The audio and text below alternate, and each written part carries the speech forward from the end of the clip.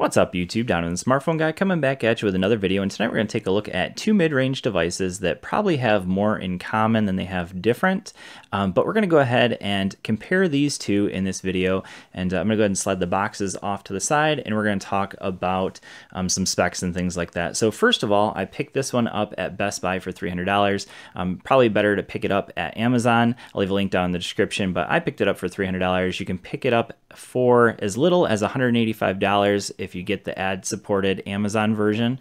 Um, and then the Xiaomi I picked up, the 4X, I picked up for $170 at gearbest.com. Links will be down in the description if you're interested in picking up either of these devices.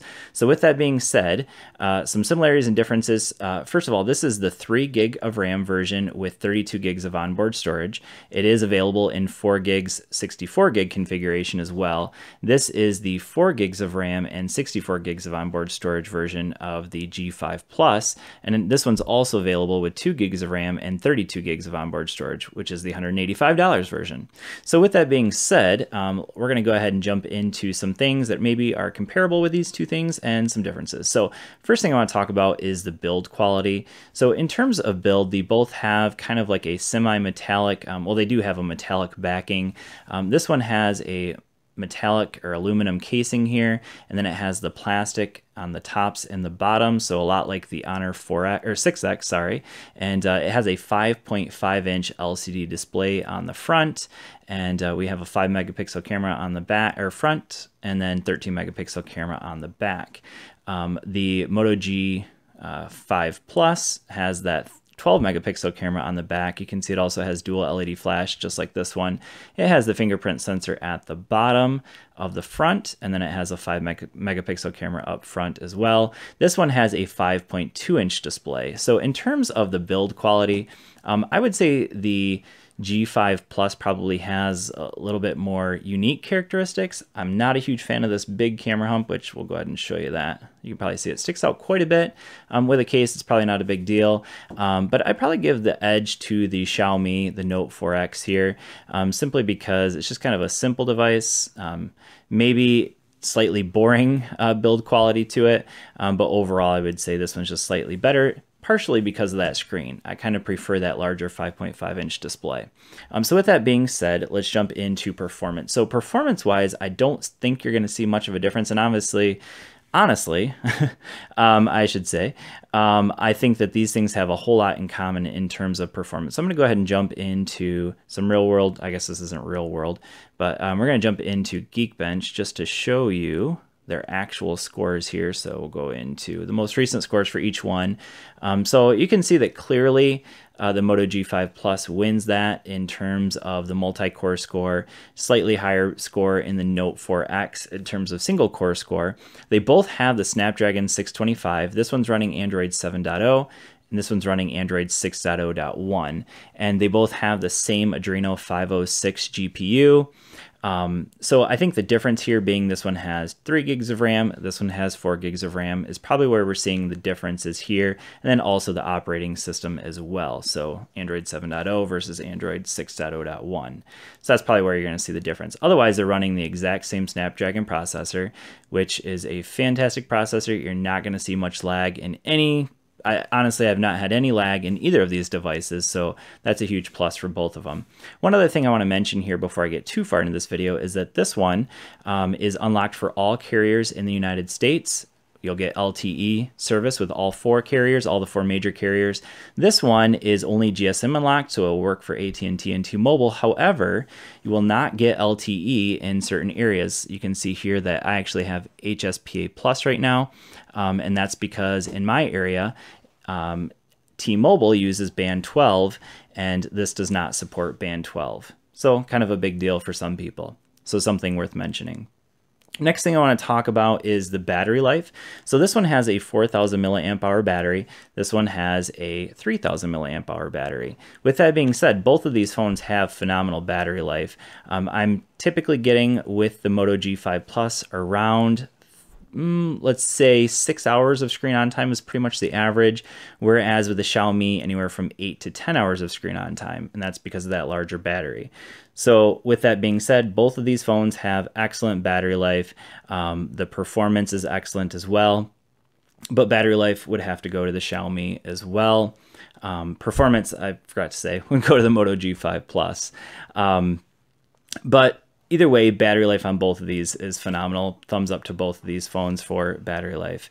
Um, in terms of cameras, uh, kind of a mixed bag here. So um, you can see here I'm actually using uh, the non-stock camera app here for the uh, Xiaomi Redmi Note 4X here. And the reason for that is because uh, it doesn't allow you to shoot in 4K in the um, original uh, camera app on that phone. So uh, that's why I switched over to uh, this other camera FX or whatever. Um, so let's go ahead and jump into some pictures. So one of the things I want to mention here is that the, this one has a 12 megapixel camera, 13 megapixel camera. When you're going to look at these pictures, you'll probably notice that this one kind of over brightens a lot of pictures. And I'm going to show you these pictures as well at the end, uh, looking a little bit um, a better look at them.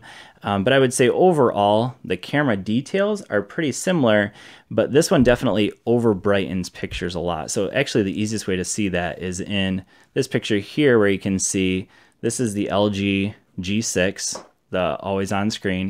You can see it like turned it almost blue, kind of weird. Whereas this one has a more natural look to it. You can tell that pretty much looks the same as it does here.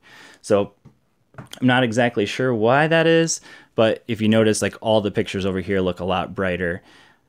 So again, I'm going to go ahead and throw those pictures up at the end so you can compare them side by side. Um, but again, both of them have good details, but the Xiaomi definitely over brightens pictures. Um, something in the post production, I think. Um, there's some front facing shots there as well. Both have 5 megapixel cameras on the front. Um, but for cameras, I'm definitely going to give the win here to the G5 Plus um, because it has more natural looking pictures.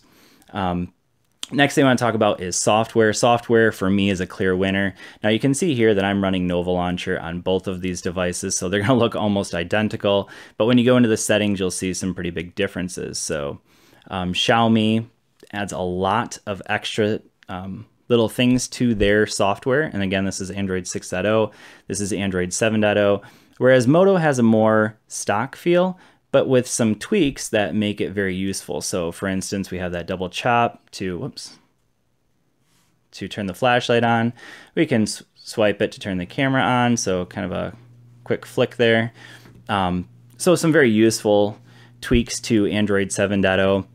Whereas Xiaomi also has some nice tweaks, but they kind of overdo it a little bit. So I'm just going to mention a couple of things that are very worth mentioning. So dual apps. So that's kind of cool because you might have some apps that maybe you want two accounts for. So like Facebook, for instance, you might have two accounts and that dual apps allows you to have two completely different accounts running on the same phone without having to log in and out of one of them. So that's kind of a nice option there. Um, and then we also have, if I can find it here, the second space almost gives you almost like a whole nother desktop basically on your phone, which is kind of cool. Um, but other than that, uh, some useful things, but overall, I would easily give the win in terms of software to um, the G5 Plus. Just a more simple version of Android, uh, less heavy version of Android as well. So easily the Moto G5 Plus wins on the software. Next thing I want to talk about is the speaker. So I actually have a, a song queued up here. I'm going to put it right up to my microphone um, so you guys can hear the differences. But um, we're going to go ahead and start with the Xiaomi here.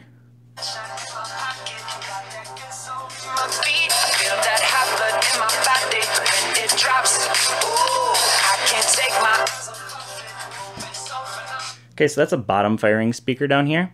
And uh, I would say overall for me, uh, it, it gets kind of loud. Um, it's not too bad in terms of how loud it is, um, but it definitely distorts when you turn it way up. So that's what you probably could hear, I'm sure, through my microphone. Um, the second one is the G5 Plus. This one has a um, top firing speaker right up here. And uh, so we'll go ahead and put that one right up next to my microphone so you can hear that one as well.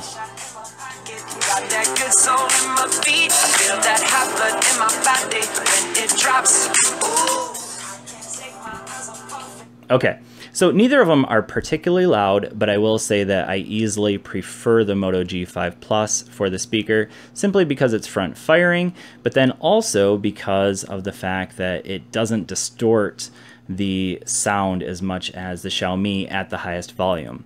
So speaker goes to the Moto G5 Plus. So with that being said, uh, we've covered all of the major bases on these two devices. Um, overall, which one do I think is the better buy? Well, it kind of depends. So first of all, if you're looking for the better cameras, I'd go for the Moto G5 Plus. If you're looking for the better software, easily, again, the Moto G5 Plus. If you're looking for LTE support in the United States, the Moto G5 Plus. So, so far, easily the Moto G5 Plus wins. Now, if you live outside of the United States, you are going to get LTE with almost any carrier.